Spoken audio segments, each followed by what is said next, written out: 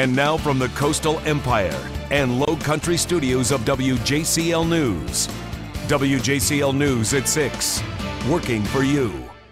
On the air with breaking news tonight as former Metro Police Chief Willie Lovett is indicted on federal charges. Thanks for joining us tonight. I'm Kevin Holmes. And I'm Jennifer Andrews. We were there as Lovett was arraigned just a few hours ago. We have team coverage of this breaking story. We are taking a look back at some of the other scandals that have plagued the former chief, plus Three others also charged. WJCL's Larry Spruill working for you, digging up details on those indictments. But first, WJCL's Ashley Lincoln was at this afternoon's arraignment and joins us live at the federal courthouse in Savannah with the latest. Ashley, what have you learned? Well, that's right, Kevin and Jennifer. Earlier today, former Metro Police Chief Willie Lovett exited this federal courthouse after being arraigned on with federal charges involving a gambling operation and extortion. Now, he said very little in the courtroom as the judge, judge read the charges he's facing. Lovett was indicted Wednesday by a federal grand jury on charges of extortion, participating in an illegal gambling operation, and conspiracy to obstruct enforcement. He faces a maximum of 110 years if convicted. And here's the breakdown of the charges. First, he's facing one count of commercial gambling with a maximum of five years, one count of conspiracy to obstruct enforcement with another maximum of five years, and five counts of extortion, each carrying a maximum sentence of 20 years. Now, these charges date back to 2004 when Lovett was a major with the police department. He was granted an unsecured bond in the amount of $30,000. And after the proceedings, we caught up with Lovett walking out walking out of the federal courthouse this afternoon with this attorney, and here's what they had to say. We entered a plea of not guilty today, and we'll, uh, we plan to prove that in a court of law very soon. Thank you. That's all we have. And Savannah Mayor Edna Jackson didn't want to comment on Lovett's indictment, but did say this. Our city manager and city attorney have led a broad process that has resulted in overdue change. We are now focused on the future of the department, including the selection of a new chief and implementation of new programs to bring a higher level of professionalism to the department. They deserve your support moving forward. And again, Lovett is pleading not guilty to all of these charges, and he's facing up um, over 100 years if convicted, Kevin and Jennifer. Hey, Ashley, uh, cameras were not allowed in the courtroom, so set the scene for us. Describe the chief's mood for us. Yeah, it was a very serious scene when you walk into the courtroom, Kevin. Um, Lovett was really reserved. He was quiet. He had handcuffs on him, which I'm sure he's not used to being on this side of the law. And there were um, marshals around him throughout the entire proceeding. But it was a very serious tone in the courtroom, and the judge was very stern on the charges that he's being um, alleged against. So very serious matters, and we're going to follow this case as it progresses, um, Kevin and Jennifer. All right, thank you, Ashley. Appreciate it. We'll check back with you.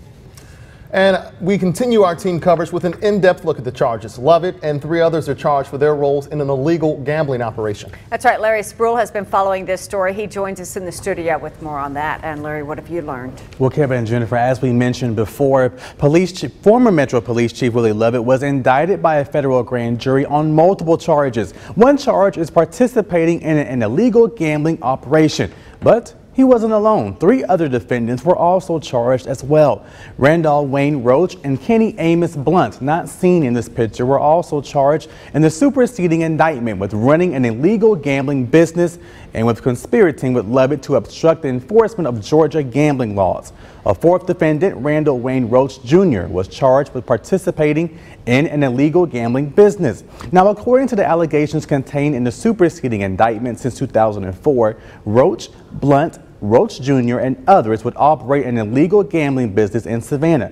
During holiday celebrations such as St. Patrick's Day and other events, the illegal gambling business would operate in violation of Georgia gambling laws but free from law enforcement intervention.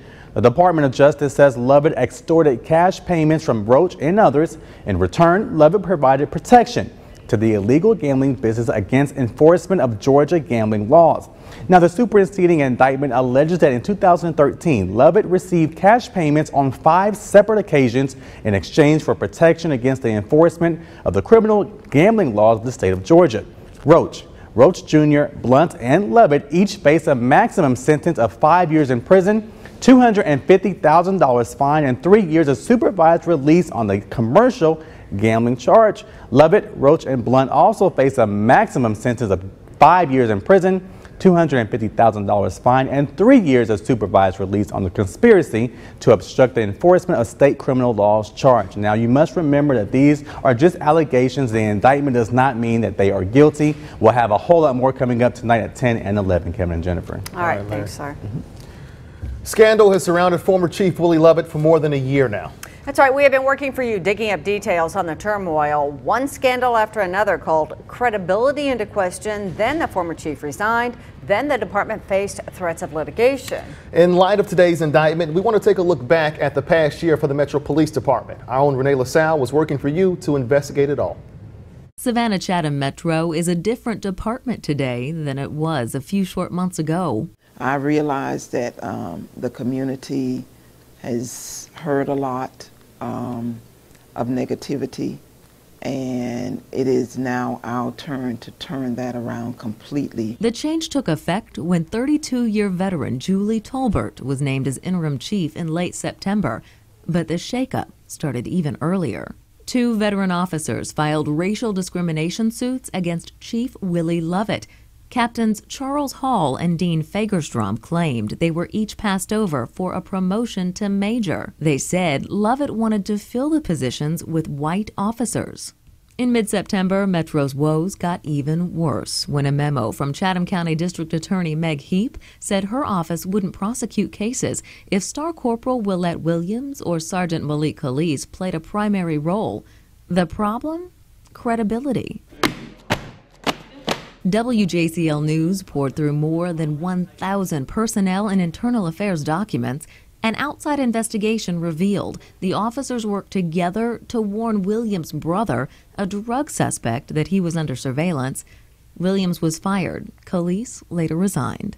Metro's problems didn't end there. Before September was through, officers Trina and LaPrentice Mays filed sexual harassment and employment discrimination complaints, naming Chief Willie Lovett as a primary offender. The talk was Lovett was stepping down.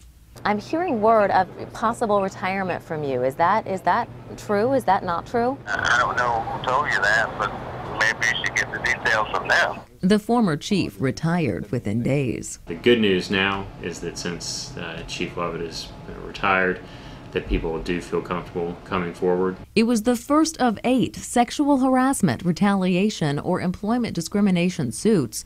Lovett, the city, the department, and other officers were named. Unfortunately, it appears that these are not isolated incidents, but rather that there was a pattern. By the end of 2013, Savannah Chatham Metro was still in transition, with Interim Chief Tolbert calling her main goal cleaning up the department and getting back to the community. Restoring that trust that they've lost, whatever that might be. Renee LaSalle, WJCL News, working for you.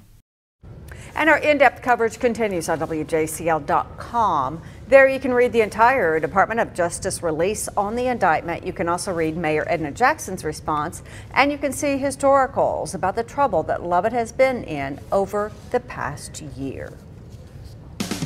Well, a former banker and pastor believed to be dead could spend 30 years behind bars. Prosecutors say Aubrey Price embezzled millions. And when police zeroed in, Price faked his death and went on the run. WJCL's Nick Notario was in the courthouse today and joins us with the details. Nick? Price faced hundreds of years behind bars, but with this deal, he could be sentenced to just 30 years.